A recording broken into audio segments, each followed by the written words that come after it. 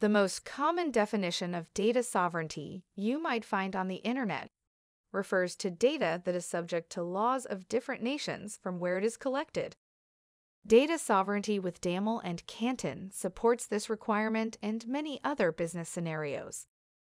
When we talk about data sovereignty with regard to multi party applications, we're focused on your business and the ability to govern your data and what is shared with other parties in an application.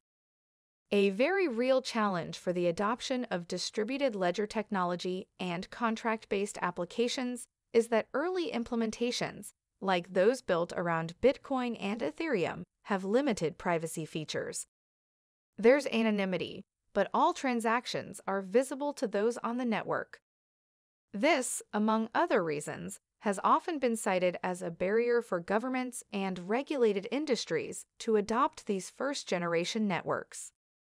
For a multi party application to really be viable for businesses, like those in banking and finance, there needs to be granular privacy controls meaning only those that should have access to the data can access or even receive the data. Something unique to DAML and Canton is the way privacy is built into the technology, treating it as a primary consideration for all features and providing data sovereignty. Let's look at how DAML provides for privacy. There are two fundamental ways DAML and Canton allow for privacy. The first is that organizations control where data is located. And second, organizations control which parties are provided data as part of the multi party application. As a distributed system, Canton allows you to run and store your data wherever you like. You're not required to use someone else's system like what you have in common software as a service models. You're free to host your data on premise or on a cloud service provider of your choosing. And moving data between those spaces doesn't affect your ability to connect with other applications. So you have complete control over the privacy and security location of your data. Now let's look at how DAML contracts allow for data sovereignty and privacy. There are several components to a DAML application running on a Canton network. But for the topic of data sovereignty, we're going to focus on contracts, choices, participant nodes, and sync or synchronization domains.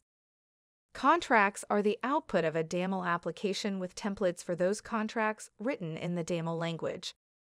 These contracts can represent tokenized assets, records, or any number of valuable transactions.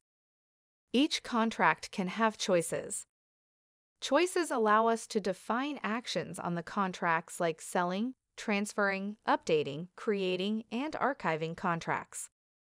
The contracts are stored, and the choices are run on a participant node. Participant nodes are the local part of the network for your business.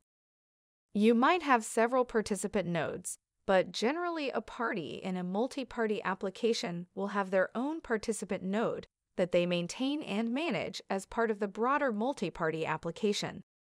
This is how a business can ensure the physical location and custody of their data. Connecting it all together is the sync domain. This is what coordinates and runs the Canton protocol that ensures data is appropriately provided to each participant node according to the rules outlined in the contracts and choices. A collection of participant nodes, connected to sync domains, can then connect to each other over the global Canton network or even with another private sync domain. Although there are several components in this network of domains, nodes, contracts, and choices, it is with contracts and choices that privacy is established. The contract dictates what data the parties can see in a contract and the choices on that contract. As a general rule, data in a contract must be purposely disclosed to parties. So, a DAML application running on the Canton network requires explicit disclosure of data at each level. For example, if I have a choice where I'm taking an action of selling an asset between two parties, I would specify which two parties can see that selling action. Every other party on the participant node and wider synchronization domain would not be able to see this action happening. It's important to note that this doesn't try to rely on pseudo anonymity to provide pseudo privacy, which is how many public blockchains work.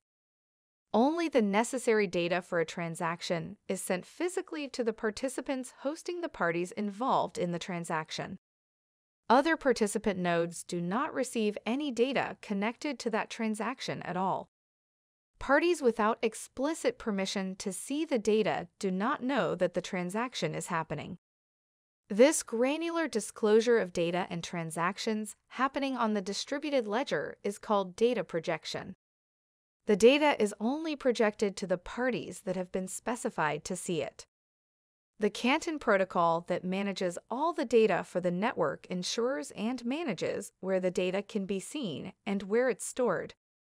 Even though there are several participant nodes, if only two of them should have access to the data, the data will only be provided to the appropriate nodes through the synchronization domain. This level of privacy designed in the DAML ledger model and the Canton protocol allows for very powerful and secure data projection and data location that gives your business data sovereignty. So let's review. DAML applications are made up of contracts and choices. These contracts are created on participant nodes that you and other parties in the application manage. The participant nodes are connected through synchronization domains, which ensure the correct data projection and thereby the location where data is sent through the Canton protocol. Data projection and node location allow for data sovereignty for everyone in the network.